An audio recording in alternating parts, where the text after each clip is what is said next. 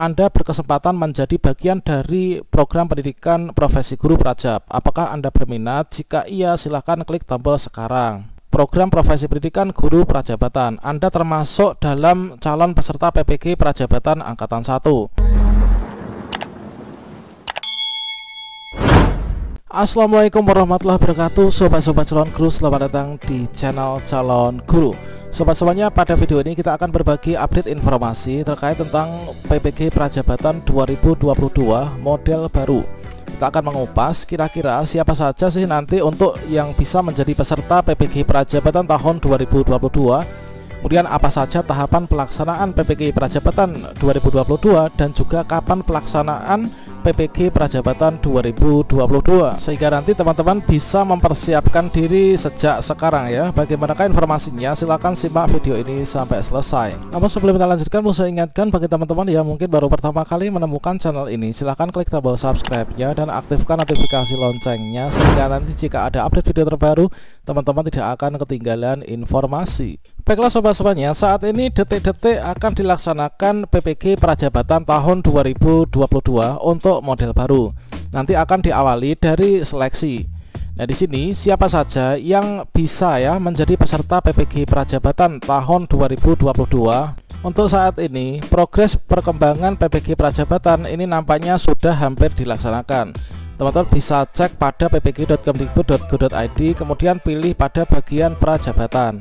Di sini sudah ada edaran terbaru terkait tentang rekrutmen calon asesor seleksi PPG yang nanti akan menjadi tim penilai bagi teman-teman yang melakukan PPG prajabatan tahun 2022 ketika kita telusuri dari edaran tersebut maka teman-teman bagi yang berpotensi untuk bisa menjadi seorang asesor atau tim penilai maka silakan teman-teman melakukan pendaftaran. Ini sudah dibuka ya sampai nanti pertengahan bulan ini. Adalah dengan cara klik daftar asesor. Sementara itu untuk daftar peserta PPG Prajabatan sampai saat ini belum dibuka. Dan sepertinya ini nanti akan segera dibuka menjelang juga nanti pelaksanaan PPG Prajabatan. Bagi teman-teman yang memenuhi persyaratan untuk mendaftar asesor kalian bisa klik daftar asesor. Kemudian teman-teman bisa pilih teman-teman ini berasal dari mana latar belakangnya apakah itu pengawas, widya iswara, akademisi, praktisi pendidikan, guru, widya pranda ataupun dosen. Dan teman-teman bisa pilih salah satu dan lanjutkan pendaftaran. Nah ini menjadi indikator penting bagi teman-teman untuk yang ingin mendaftar PPG Prajabatan bahwa saat ini akan segera diselenggarakan PPG Prajabatan 2022 Selanjutnya siapa saja yang menjadi peserta PPG Prajabatan 2022 berdasarkan uh, tampilan slide yang dibagikan oleh Kemendikbud beberapa waktu yang lalu bahwa untuk yang pertama, peserta pertama ini adalah pendidikan profesi guru prajabatan ini dilakukan sesudah proses rekrutmen ASN sebagai bagian dari pendidikan CASN. Jadi di sini mulai dari perencanaan kebutuhan oleh instansi daerah, kemudian nanti pengajuan formasi, kemudian persetujuan formasi, Kemudian seleksi ASN guru berikutnya nanti terintegrasi yang dilakukan oleh uh, Pansel Nasya dan juga eh, gugusan-gugusan uh, yang menjadi panitia ini.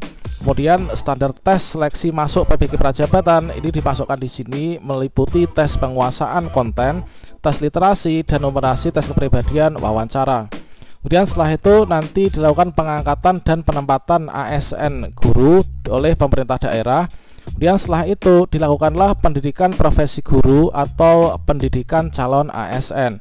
Nah, ini adalah dilakukan oleh Dijen GTK dengan LPTK. Setelah selesai, maka dilakukan penugasan ASN guru sesuai penempatannya di pemerintah daerah. Jadi untuk peserta pertama ini adalah nanti teman-teman yang melakukan pendaftaran CASN. Kemudian untuk sekolah swasta, pendidikan profesi guru prajabatan ini dapat dilakukan dengan biaya mandiri atau biaya yayasan sebagai bagian dari proses perekrutan. Nah, di sini untuk PPG yang biaya mandiri, ini adalah meliputi tahapannya, ini adalah seleksi masuk PPG yang dilakukan oleh Dirjen GTK. Kemudian pendidikan profesi guru ini dilakukan oleh Dirjen GTK bersama dengan LPTK atau perguruan tinggi. Kemudian seleksi rekrutmen guru ini adalah uh, oleh sekolah swasta, kemudian penugasan guru ini oleh sekolah swasta. Kemudian PPG dengan biaya yayasan. Ini dimulai dari perencanaan kebutuhan guru oleh sekolah swasta.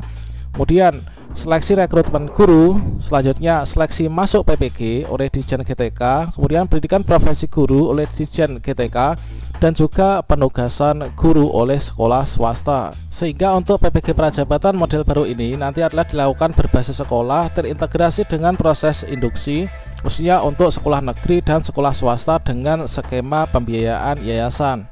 Dan mengedepankan efektif dan juga efisien, PPG dilaksanakan berdasarkan kebutuhan guru, PPG dan induksi terintegrasi peserta PPG yang sudah langsung mengenal sekolah tempat ia akan memulai karir lulusan PPG ini bisa langsung bekerja Perkuat sinergi pemangku kepentingan. Sedangkan untuk timeline pelaksanaan PPG Prajabatan tahun 2022 Sesuai dengan timeline yang sudah dibagikan sebelumnya Ini adalah nanti dimulai pada bulan Agustus Sehingga saat ini inilah masa-masa menjelang pendaftaran PPG Prajabatan 2022 model baru. Nah di sini untuk PPG Prajabatan model baru ini untuk TMT 2020 sampai 2022 ini memiliki kuota 40.000 peserta.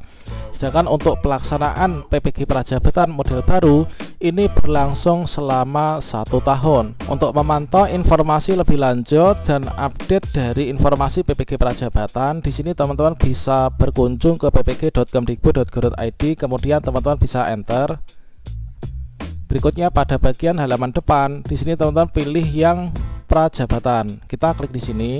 Ini adalah bukti dari untuk PBG Prajabatan ini nanti hampir dibuka. Saat ini sedang berlangsung yaitu proses rekrutmen calon asesor seleksi PPG. Sedang dilakukan perekrutan calon asesor seleksi pendidikan profesi guru Dirjen GTK Kemdikbudristek Direktorat Pendidikan Profesi Guru mengundang putra-putri terbaik bangsa untuk bergabung menjadi asesor seleksi PPG. Nantinya untuk melakukan pendaftaran PPG Prajabatan, teman-teman bisa berkunjung pada bagian link ini yang saat ini belum bisa diakses ya. Coba kita klik. Nah, kita akan masuk ke PPG Prajabatan.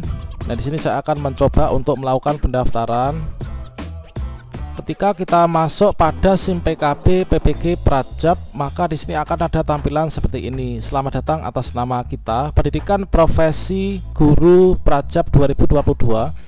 Anda berkesempatan menjadi bagian dari program pendidikan profesi guru Prajab. Apakah Anda berminat? Jika iya, silahkan klik tombol sekarang.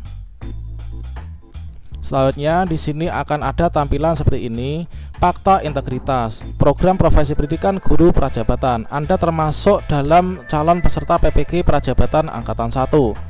Peran Anda. Nah, di sini kita memilih salah satu.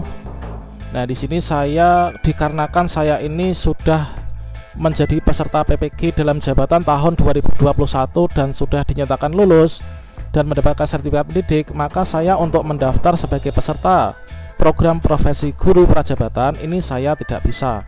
Jadi saya tidak bisa mendaftar peserta entah ini karena saya nggak bisa ataukah ini memang pendaftaran belum dibuka.